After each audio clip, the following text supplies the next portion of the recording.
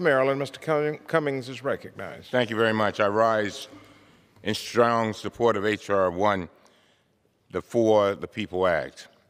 I want to thank my friend, Congressman John Sarbanes, for his vision and for his tenacity introducing in introducing this bold and historic reform package.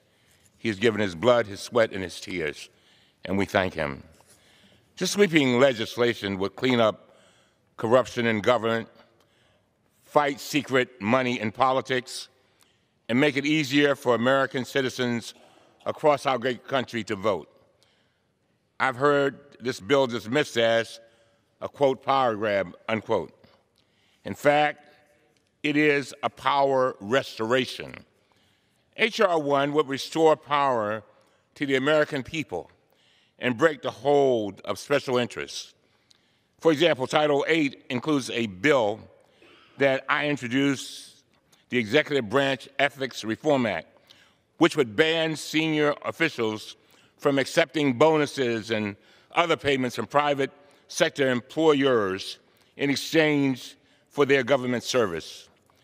H.R. 1 would have prevented Gary Cohn, President Trump's former economic advisor, from receiving more than $100 million in accelerated payments from Goldman Sachs when he left to lead the Trump administration's effort to slash corporate taxes. Title 8 also includes another bill that I introduced, the Transition Team Ethics Improvement Act.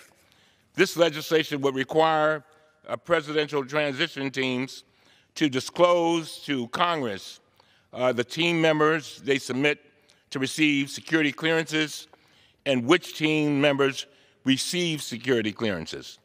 This legislation also would require transition teams to have ethics plans in place and to publicly disclose those plans.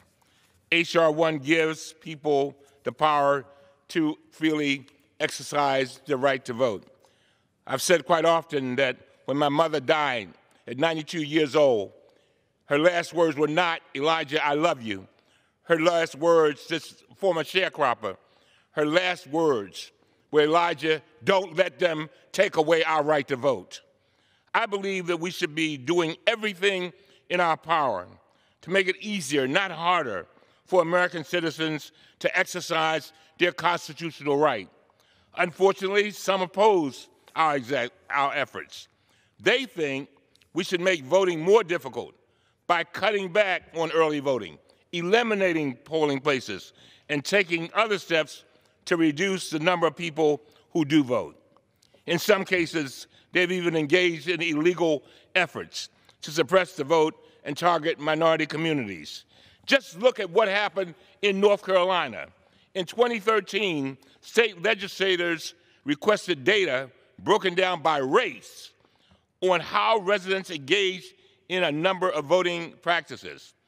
They then used that data to enact legislation that restricted voting and voter registration in five different ways that disproportionately affected African Americans. You do not have to take my word. The Fourth Circuit of Appeals found that this legislation was enacted with discriminatory intent. In fact, the Fourth Circuit said that in North Carolina, legislation targeted African Americans with, with, with, with, they said this, I quote, almost surgical position. We are better than that. In Georgia, we saw actions just last year by officials to remove people from the voter rolls and prevent them from registering in the first place. H.R. 1 would establish procedures to automatically register people to vote, expand early voting, absentee voting, and give additional funding to states to maintain enough polling sites so that they can do their job. this legislation would help make it easier for hardworking Americans to find the time to vote by making Election Day a federal holiday and encouraging the private sector to follow suit. A federal court after federal court, federal court after federal court, that, that are going, ongoing efforts to stop people from voting.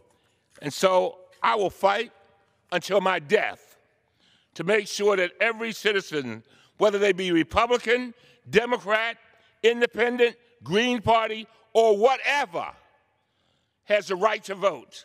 The American people gave this Congress a mandate to restore our democracy, and we will clean it up. And with that, I yield back. The gentleman.